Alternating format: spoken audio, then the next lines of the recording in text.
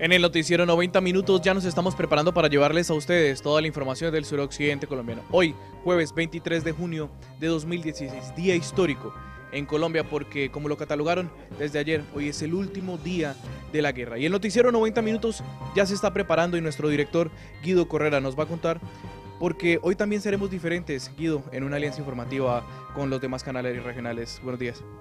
Buenos días a todos. Eh, sí, hoy Telepacífico y los noticieros regionales, todos los cuatro noticieros regionales vamos a estar unidos en una gran transmisión desde las 11 eh, de la mañana, 10 de la mañana eh, donde tendremos conectado a todos los televidentes de la región Pacífico con La Habana, con Corinto Cauca y con las principales eh, zonas de Cali, con expertos, con comentaristas y con nuestros periodistas haciendo notas en toda la ciudad. Miguel Ángel Palta va a estar en, Corinto junto a Gildardo Arango, del Demás Pacífico. Eh, ¿Qué nos traerán desde allá? Corinto es una de las, poblaciones más afectadas por la guerra, más afectada por las tomas de las FARC y nos pareció importante poner los recursos tecnológicos del canal y de, 90 minutos al servicio de una información que salga de allá, de donde están las heridas más profundas de la guerra. Eh, Miguel Ángel va a estar eh, hablando con las víctimas, hablando con los líderes de la región, va a estar acompañado por el director del noticiero Más Pacífico, Gildardo Arango, y desde allá haremos varios informes eh, en vivo y en directo. Es cierto que también los medios de comunicación jugarán un papel importante ya a partir de mañana, después de que no haya más guerra. Pues se supone que este es el último día de la guerra y los medios de comunicación estamos ah, irremediablemente a favor de la sociedad.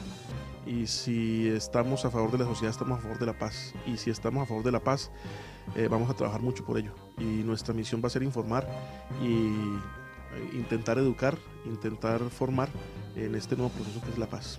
También tendremos nuestro noticiero normal de una a una y media.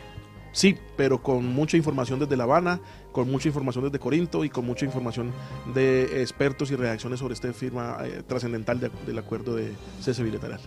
Bueno, gracias Guido y como lo ven, nosotros ya nos estamos alistando. También muy pendientes de lo que llevaremos en nuestro especial de Bienvenida a la Paz es, así le hemos llamado a nuestro especial en www.90minutos.co porque hemos dado un paso importantísimo para solucionar tantos problemas que ha venido aquejando este país con una guerra de más de 60 años. A través de nuestras redes sociales en Facebook, Noticiero 90 Minutos y en Twitter, arroba Noti 90 Minutos los pormenores de lo que esté pasando en La Habana.